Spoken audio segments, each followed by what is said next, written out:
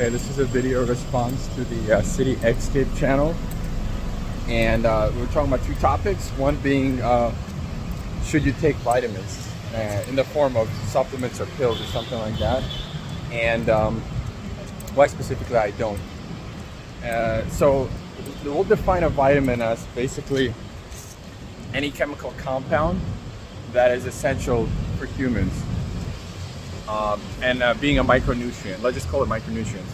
So, so let, let, let's just, this is the framework I use for this. So the vitamins just assume they're, they're better assimilated and they're more bioavailable when they're in their natural food product. So just take that at face value. Let's even assume that you can get some benefit from pills and vitamins, which I don't believe. They've done some studies. These are tough. These are surveys, so they're epidemiological studies. We can't really infer too much from it. But older people that took more vitamins, there's a neutral effect or even a slight detrimental effect in these studies. So in that regard, I, I don't think vitamins work. But even even if vitamins did work, why are you not getting enough from your food? And uh, uh, you should ask yourself that. And let's talk about antioxidants. So antioxidants are there for the plant. Again, no data, no conclusive evidence that we can even we even need antioxidants. There's zero benefit. So again, let's play devil's advocate. Assuming you could antioxidants are great for humans and you could use this. This is not the case, but you could mimic the same pathway with things like caloric restriction, caloric timing, coffee even, heat and cold exposure, and so forth. So if you're already living a lifestyle uh, uh, uh, that promotes this, stuff that you already know is good for you, these vitamins aren't going to do much. And I, I, think there's a there's a, a, tendency to to think that I, I am in control and I'm going to take all these vitamins and it's going to make my health better. I'll tell you what I do take. I take uh, vitamin D3 because it's very difficult to eat enough fish and food to get your value. And I believe the those you, it's hard to have too much of it actually.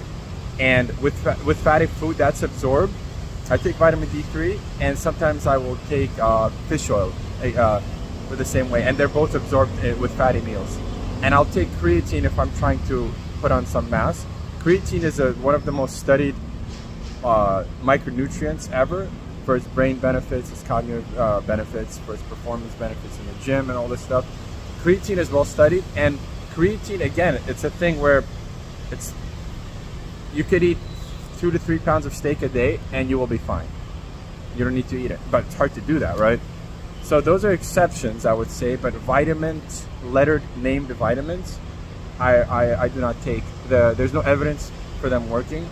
And in fact, there's evidence, uh, and there's good there's there's good um, evidence that suggests that it's better to have the vitamins in food. And taking a bunch of vitamins, it won't make you live. It won't make you live longer. So, like, let's talk about herbal supplements. Herbal supplements, again, unregulated dosages, and they affect people somewhat differently. But if something is working for you, be it ashwagandha, uh, something like that, for some people have massive side effects from it, and some people say, "Oh my God, it cures my anxiety." Again, there's other things you could do to cure your anxiety: sleeping, heat and cold exposure, um, and really, really uh, sense of purpose. Like lower your body fat. Lower your body fat. Your testosterone levels will probably go up because it'll improve other parameters, and then you will you will uh, have more uh, purpose and more conviction in what you're doing, probably your anxiety and depression will go down. So again, unregulated uh, uh ashwagandha stuff or uh, unregulated stuff like that, I, I, don't have a problem with. I personally don't take it because everything we have is from the sun and from the food we eat.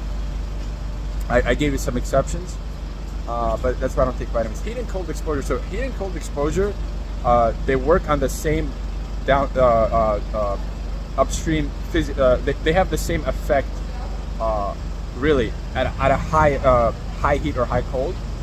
They, they work on the same heat shock proteins or cold shock proteins, same molecules, and this will this will uh, affect the cascade. So so like in, in Russia and Finland, hot exposure in the form of dry saunas that's been around for um, uh, for like almost a millennia, hundreds of years at least. The science is finally coming out on sauna use. So, so extreme heat exposure. What are the benefits? So you have a uh, improved immunity, interleukins, white blood cells, improved specifically respiratory immunity. So when they were closing down the saunas during that thing a few years ago, it was absolutely insanity.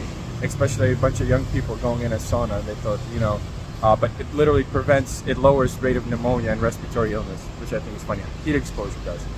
And then, then you have longevity studies. I think it was men in Finland.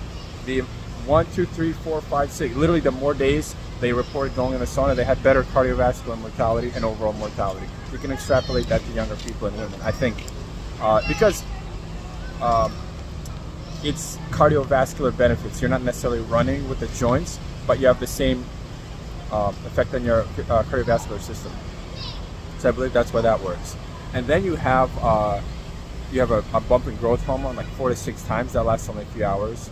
Improved immunity, and you will see how you how well you sleep because sleeping well will just improve everything else in life. And sauna use will will improve that, and as well as um, again subjective well-being or mood. Lowered the rate of if you have anxiety issues, sauna is the best. You know, it's amazing.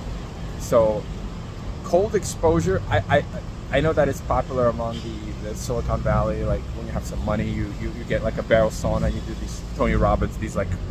So as I said, since it works on the same um, processes, since it works on the same physiologic, if you, if you're doing heat exposure, that's enough. If you cold exposure, okay, it, it's fine, but there's a, a, small tiny chance if you have a um, coronary artery anatomic uh, abnormality, cold exposure can uh, can cause sudden cardiac death.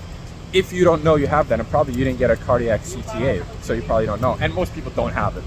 But the, the, the, the risk benefit to me is sometimes I'll go uh, if I'm at some place and they have a nice cold, cold, cold pool, I will go, but not because I think it's different from heat exposure. It's the same thing.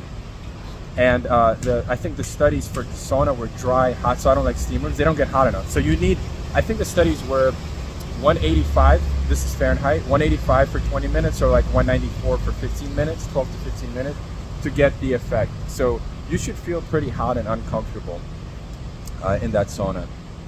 So uh, that's the reason why I'm not sold on vitamins at all. Uh, I don't believe I don't believe they work outside of eating them from food.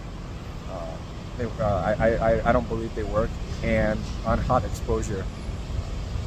And yeah, hope you enjoy.